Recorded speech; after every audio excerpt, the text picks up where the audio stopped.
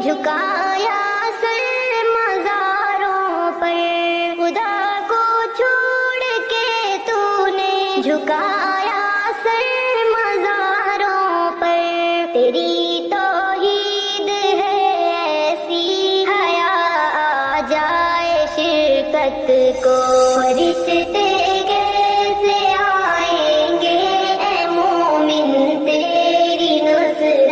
को? किया